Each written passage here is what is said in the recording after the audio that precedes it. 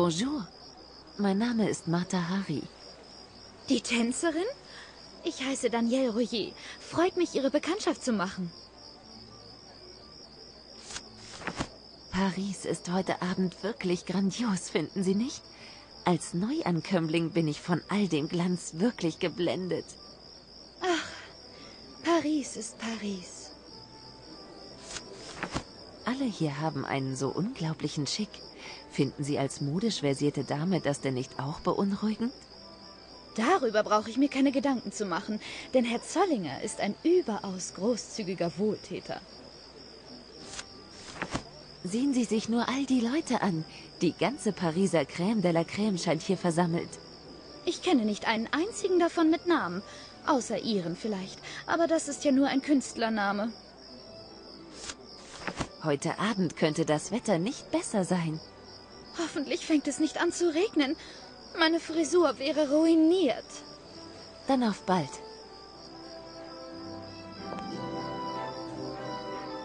Schöner Tag. Sie sind doch diese Tänzerin? Ich muss Ihnen sagen, ganz Paris ist von Ihrer Art zu tanzen entsetzt. Mein Mann eingeschlossen. Oh je. Na, er ist Politiker und da muss er eben entsetzt sein. Doch ich als Frau, nun, ich finde Sie sehr wagemutig. Oh, vielen Dank. Paris hat größere Bedeutung als mein Mann. Und selbst wenn er nicht für Sie bereit ist, die Stadt ist es. Welches Amt bekleidet denn Ihr Mann hier in Paris? Öffentliche Sicherheit. Er ist ganz vernarrt in Elektrizität und lässt überall Straßenlampen aufstellen, um die Stadt nachts sicherer zu machen. Hier sind alle so elegant angezogen. Wie gefallen Ihnen denn die neuesten Abendkleider? Gott sei's gedankt für diesen Umbruch.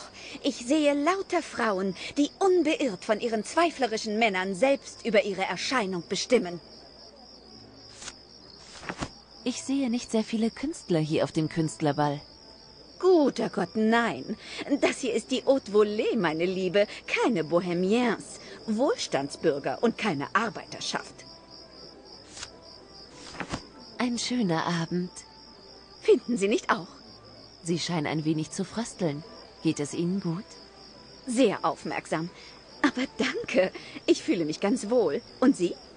So gut wie eine Tänzerin ohne Aussichten und ohne Impresario sich eben fühlen kann. Oh, Sie Ärmste. Sie haben ein gutes Herz. Und das ist leider selten.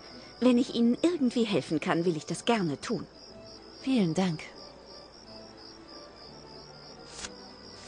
Ich habe Monsieur Astruc schon beinahe dazu überreden können, sich meiner Tanzkarriere anzunehmen. Doch er schwankt noch ein wenig und möchte hören, wie andere darüber denken. Könnten Sie mir da vielleicht behilflich sein? Aber nur zu gern, meine Liebe. Ich finde Ihre Art zu tanzen sehr elegant und absolut neu. Und außerdem sind Sie doch die personifizierte Verlockung für diese Dummköpfe von Männern. Das ist genau, wonach ich suchte. Haben Sie vielen Dank.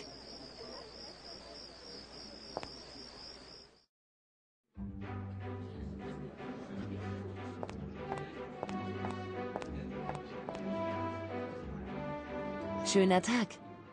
Hallo, mein Name ist Rupert Zollinger. Zu Ihren Diensten. Ich heiße Martha Hari. Die Tänzerin, richtig? Vielleicht haben Sie ja meine Darbietung heute Abend gesehen. Vielleicht. Auch wenn ich das niemals zugeben würde. Viel zu gewagt. Paris ist am Abend besonders schön, finden Sie nicht auch?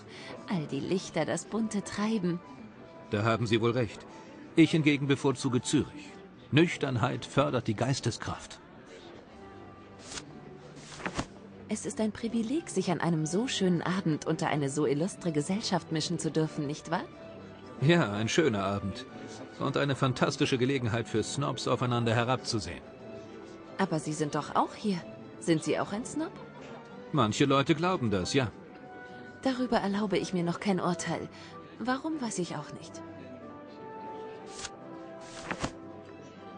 Jeder hier ist so elegant, so du jour. Beeindruckt Sie das denn nicht? Oh doch, sehr. Das ist der einzige Grund, warum ich hier bin.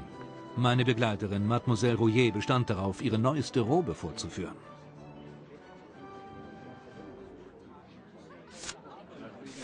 Sie sehen so einsam aus, so allein, wie Sie dastehen. Hat sie Ihre Begleiterin im Stich gelassen? Oder halten Sie vielleicht nach jemand Neuem Ausschau? Ich unterhalte mich damit, mir dieses Modedefilé hier anzusehen. Eine ganze Yacht ist billiger als so manches Kleid hier. Sehen Sie zum Beispiel meine Begleiterin da drüben. Es kostet ein Vermögen, sie nach der neuesten Mode auszustaffieren. Was glauben Sie? Ist sie es wert? Das kann ich leider nicht beurteilen. Aber sie ist gewiss eine ausgesprochene Schönheit. Das mag wohl sein, solange sie nicht schmollt.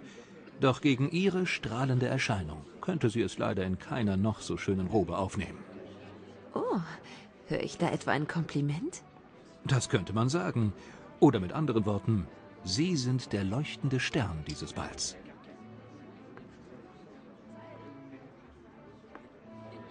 Nun,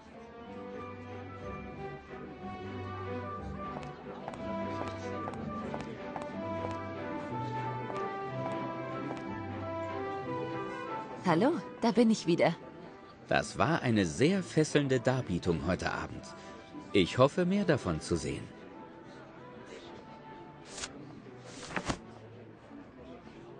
Herr Zollinger hat mir ein Kompliment gemacht. Er sagte, ich sei der leuchtende Stern dieses Balles. Hm, ich bezweifle, dass Astrück davon beeindruckt sein wird. Dieses Kompliment wäre aus meinem Munde wesentlich wirkungsvoller. Nun, also, ich finde Ihre Tanzkünste sehr raffiniert und Ihr Schauspiel wagemutig. Für mich sind Sie damit der leuchtende Stern dieses Balls. Wie klingt das?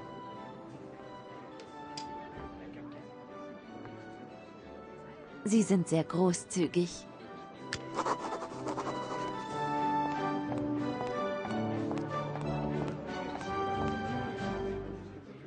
Na, haben Sie jemanden gefunden, der ein Loblied auf Sie singt? Ich habe gerade eine nette junge Dame kennengelernt. Die findet, meine Tanzdarbietungen seien eine Offenbarung für jede moderne Frau. Was Sie nicht sagen. Beinahe. Sie findet mich elegant und kultiviert und hält mich für einen Männermagneten. Eleganz alleine reicht leider nicht. Für mich ist nur wichtig, dass die Leute sie absolut großartig finden. Ich habe gerade einen etwas geheimnisvollen Herrn kennengelernt. Kommt Ihnen der Name Samsonet irgendwie bekannt vor? Nun, er lobt meine Verwegenheit als Tänzerin und Schauspielerin. Das ist doch dieser Schweizer Geschäftsmann. Ich habe von ihm gehört. Und immerhin scheint er Sie zu kennen. Vielen Dank. Meine Liebe, das ist ganz offensichtlich. Sie sind wagemutig, schön und originell. Heute Abend sind Sie zwar in aller Munde, aber eine Karriere? Das wird schwer werden, denn Tänzerinnen gibt es viele. Die Mode ändert sich fortlaufend. Dazu braucht es schon einen Impresario, der so gut ist wie Ihre Tanzkunst. Aber Sie sind doch der beste Impresario in ganz Paris. Das bin ich in der Tat. Und um etwas aus Ihrem Talent zu machen, werden Sie all mein Können brauchen. Dann willigen Sie also ein? Hier, meine Karte.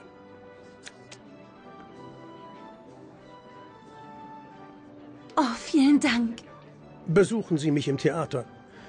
Dann werden wir uns weiter unterhalten. Der heutige Abend war ein voller Erfolg. Ich habe Giel Astrüc, den berühmtesten Impresario von Paris, dazu überreden können, sich meiner anzunehmen. Jetzt müssen wir beide nur noch gemeinsam dafür sorgen, dass sich Paris in mich verliebt und für dieses Privileg auch noch zahlt.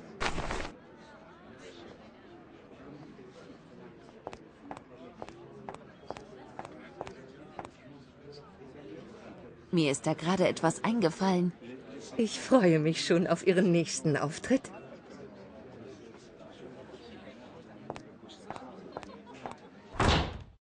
Matahari, warten Sie einen Augenblick. Monsieur Samsonet?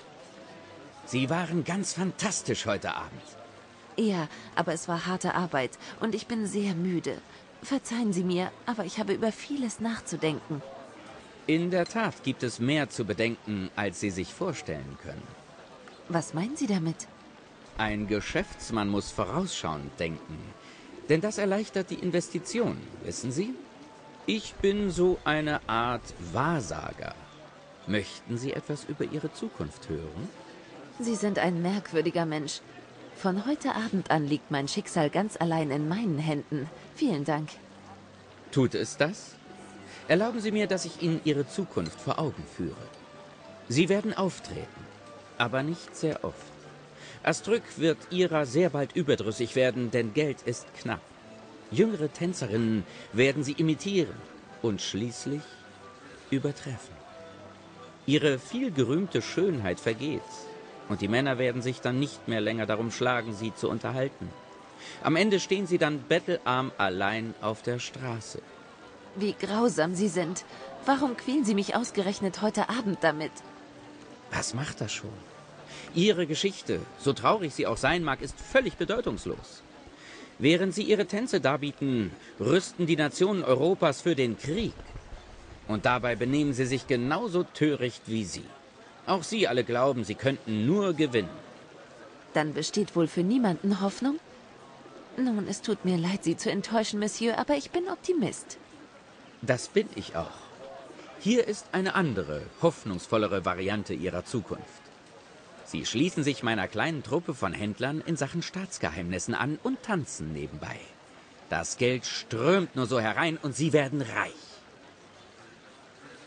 Indem wir zusammen Informationen an alle Seiten verkaufen, zeigen wir Europa, dass ein Krieg unmöglich ist. Habe ich richtig gehört? Sie wollen mich als Spionin anwerben? Zum Wohle der Menschheit, ja. Die schöne Helena hat einen Krieg angezettelt. Ich bezweifle, dass ich einen aufhalten könnte. Sicherlich nicht allein und nicht mit einem Mal. Aber das ist doch lächerlich. Was soll ich denn tun? Den Kaiser vergiften? Ich dachte da eher an etwas weniger Kriminelles. Gehen Sie wieder zurück auf den Ball und verführen Sie diesen Zollinger. Dann bringen Sie mir einen Abdruck seines Siegels. Meine Anatomiekenntnisse mögen vielleicht unvollständig sein, aber was genau meinen Sie damit? Es geht um einen kleinen Metallstempel, Zollingers Firmensiegel. Es ist 5000 Franc wert. Leicht verdientes Geld für jemanden mit ihren einzigartigen Fähigkeiten. 5000 Franc? Aber Zollinger hat doch schon eine Geliebte. Dann sollten Sie dem abhelfen. Hier ist ein kleiner Liebesbrief für Mademoiselle. Mal sehen, wie sie auf mein Flehen reagiert.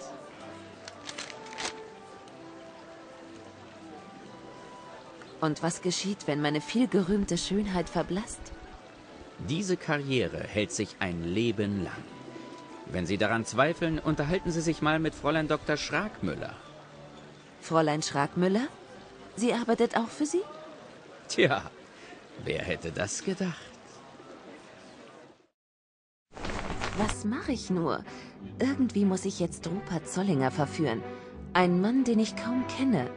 Ich soll einen Abdruck seines Firmensiegels besorgen. Aber wenigstens sieht er gut aus.